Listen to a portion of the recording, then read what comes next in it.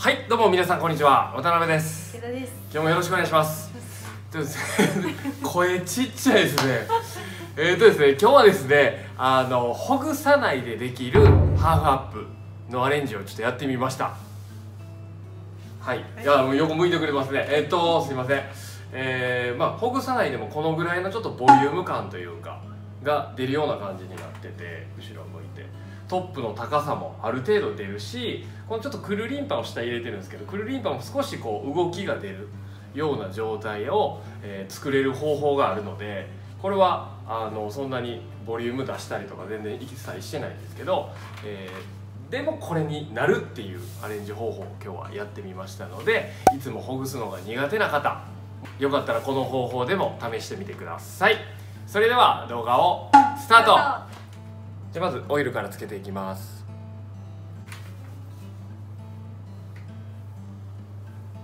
結構アレンジのポイントはこの髪の毛のまとまりなんでしっかりつけてまとまるようにしてください。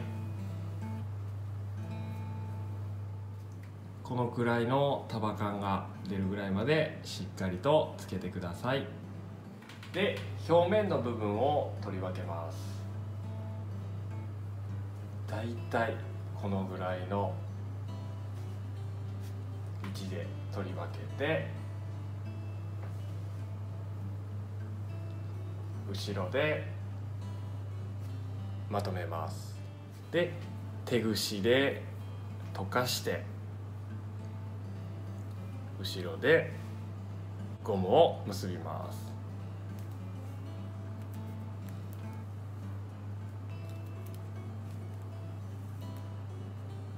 で次にこの上で結んだ髪の毛の両端ですね。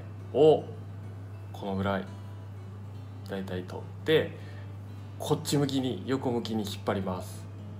ぐーっと。と引っ張るとトップの高さがふんわりと出てきます。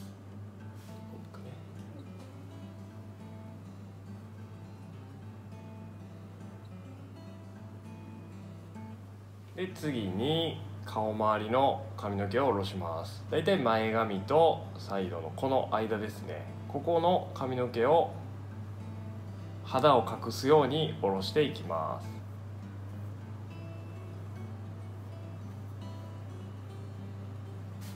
で残りの髪の毛を後ろに手ぐしでまとめていきます。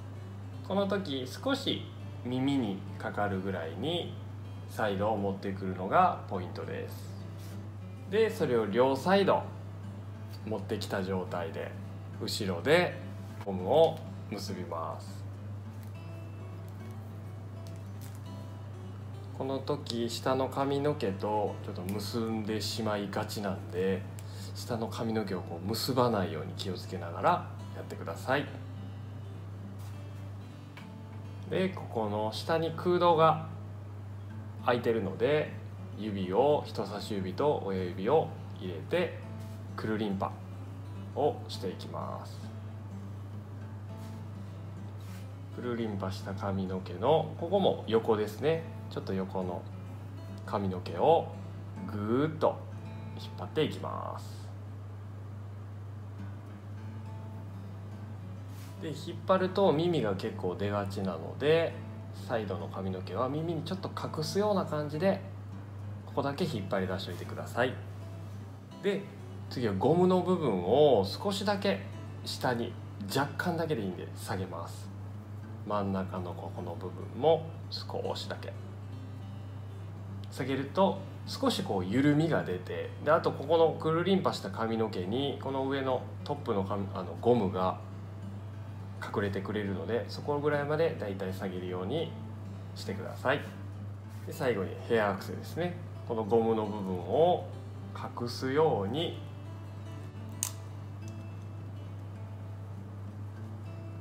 つけて。完成です。感じで仕上がりました。結構一切ほぐしてないんですけどほぐさないでもここまでのこうルーズ感が出るようなアレンジになってますのでよかったら参考にしてみてください。